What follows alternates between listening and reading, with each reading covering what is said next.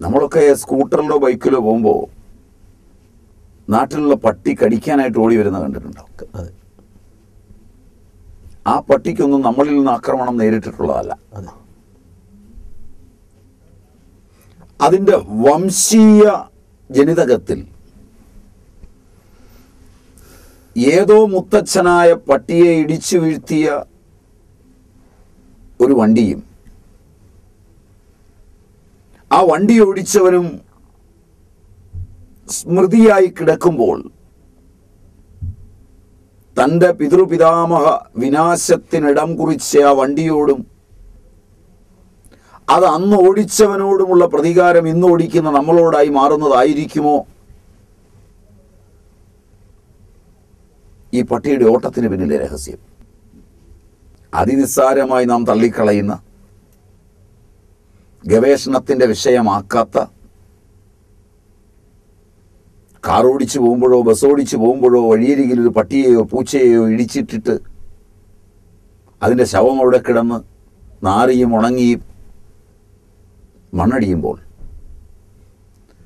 ആ ഇടി കൊണ്ട് അതിൽ നിന്ന് മോചനം നേടുന്ന ജീവന്റെ ഉൽപ്പത്തി വിനാശങ്ങളുടെ ഇതിഹാസങ്ങളിൽ ആ വണ്ടിയും അതിടിപ്പിച്ച മുഹൂർത്തവും അതിന്റെ വംശീയ കലകളിലേക്ക് ആനുവംശിക സ്വഭാവത്തിലേക്ക് ജനറ്റിക്കൽ ശൃംഖലയിലേക്ക് ഒരവബോധമായി കടന്നു ചെല്ലുമെങ്കിൽ അത് പ്രേരണ ചെലുത്തുന്നത് കൊണ്ടായിരിക്കുമോ മറ്റു പ്രകോപനങ്ങളില്ലാതെ ഒരുവൻ വണ്ടിയിൽ പോകുമ്പോൾ ഈ പട്ടി ഓടുന്നത് എന്ന്? ഒരു തമാശയായെങ്കിലും ചിന്തിച്ചാൽ. ചിന്തനയാണ് വളരെ പ്രധാനമായ.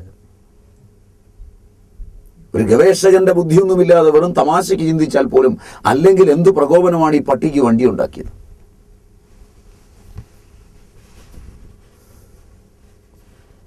ഇപ്പൊ എവിടെയെങ്കിലും ഒരു പട്ടിയെ മനുഷ്യൻ ആക്രമിച്ചാൽ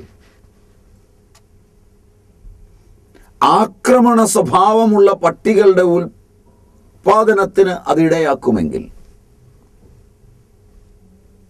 ശ്രദ്ധേയമായി പഠിക്കേണ്ടതാണ്. മത്സ്യം ഭക്ഷണത്തിന് ഉപയോഗിക്കുന്നതിനപ്പുറം അതിന്റെ വംശത്തെ തന്നെ നശിപ്പിക്കുമാറ് മനുഷ്യൻ പിടിക്കാൻ തുടങ്ങുമ്പോൾ ആ മത്സ്യത്തിന്റെ ജനിതകം പരിണമിച്ച് വെള്ളത്തിൽ മനുഷ്യൻ ഇറങ്ങിയാൽ അവന്റെ മാംസം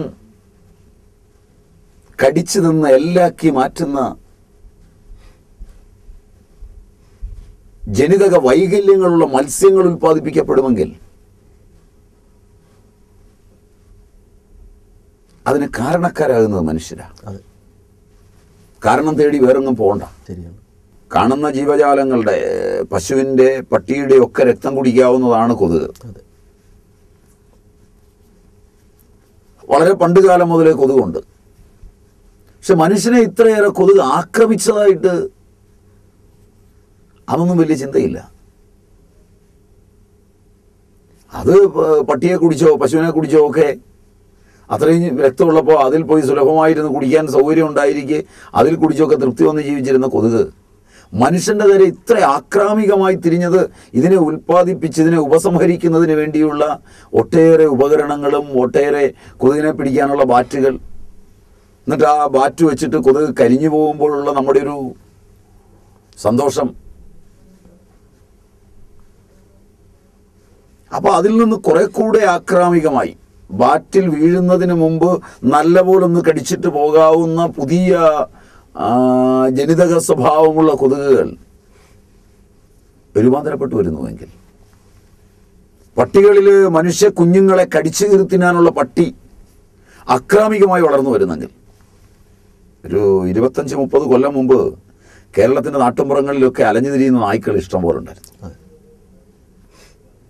അവ ആക്രാമികമായിരുന്നില്ല വീടുകളിൽ കെട്ടിയിട്ട് വളർത്തുന്ന പട്ടികളുടെ ആക്രാമിക സ്വഭാവം നാടൻ പട്ടികൾക്കുണ്ടായിരുന്നില്ല അവ പലപ്പോഴും അലഞ്ഞു നടക്കുന്നവയായിരുന്നെങ്കിലും രാത്രിയിലൊക്കെ ആളുകൾ വരുമ്പോൾ അയാൾ വളർത്തുന്ന പട്ടിയോ അയാളെ പരിചയമുള്ള പട്ടിയോ അല്ലെങ്കിൽ പോലും ഏതൊക്കെയോ മനുഷ്യർ കൊടുത്ത അന്നത്തോടുള്ള ഒരു പ്രതിബദ്ധത കൊണ്ട് ഏകാന്തപഥികനായ അവന്റെ മുമ്പിൽ സഞ്ചരിക്കുകയും അന്യനാട്ടിൽ നിന്ന് ഈ നാട്ടിലേക്ക് വന്ന ഒരുവൻ നാട്ടിലൊരു വീട് കണ്ടുപിടിക്കാൻ വിഷമിക്കുമ്പോൾ രാത്രിയിൽ ആരുമില്ലെങ്കിലും എന്റെ മുമ്പിൽ നടക്കുന്ന ഒരു പട്ടിയെ അവലംബമാക്കി ഇവൻ നടക്കുമ്പോൾ ആ പട്ടി ആ വീടിന്റെ മുമ്പിൽ ചെന്ന് നിൽക്കുന്നതും ഇവനങ്ങ് കയറിപ്പോകുന്നതൊക്കെ ഒരു സർവസാധാരണ ദൃശ്യമായിരുന്നു. ഒരു വഴികാട്ടിയായിട്ട്. വഴികാട്ടിയായിട്ട്.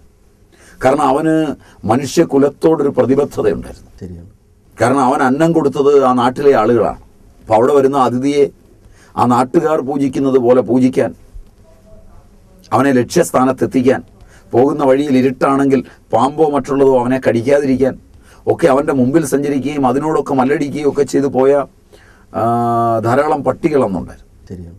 പിന്നീട് മനുഷ്യൻ വളർത്തുന്നത് മാത്രമേ പട്ടിയാവുകയുള്ളൂ എന്ന് പട്ടിയോട് പറയുമാറെടാ പട്ടി നീയല്ല ഞാനാണ് പട്ടി എന്നൊക്കെ പറയുന്ന ഒരു സങ്കേതത്തിലേക്ക് മനുഷ്യൻ വളർന്നപ്പോൾ നാടൻ പട്ടികളെയൊക്കെ പിടിക്കാനും അതിനെ കൊല്ലാനും ഒക്കെ അത് രോഗം പരത്തുന്നുവെന്നും അത് പേയളകുന്നുവെന്നും ഒക്കെ എവിടെയോ ഒരു പട്ടിക്ക് പേയളകിയിട്ടുണ്ടാവും. ലോകത്തുള്ള എല്ലാ പട്ടിയെയും ഉന്മൂലനം ചെയ്ത് മനുഷ്യന്റെ സുഖവാസത്തിന് ഉറപ്പിക്കുവാൻ ഇറങ്ങി തിരിച്ചപ്പോൾ എനിക്ക് തോന്നുന്നു ഒരുപാട് സ്ഥലങ്ങളിൽ നിന്ന് കുട്ടികളെ പട്ടി കടിച്ചു കീറിയെന്നും ഒക്കെ വാർത്തകൾ വന്നുകൊണ്ടിരിക്കുക. അതെ. ഇത് സർവസാധാരണമാണെന്ന് തോന്നുന്നു. അതെ. വളരെ ആക്രമണകാരികളായ നായ്ക്കൾ മനുഷ്യന്റെ ഈ സ്വഭാവത്തിൽ നിന്ന് രൂപാന്തരപ്പെട്ടു വരിക.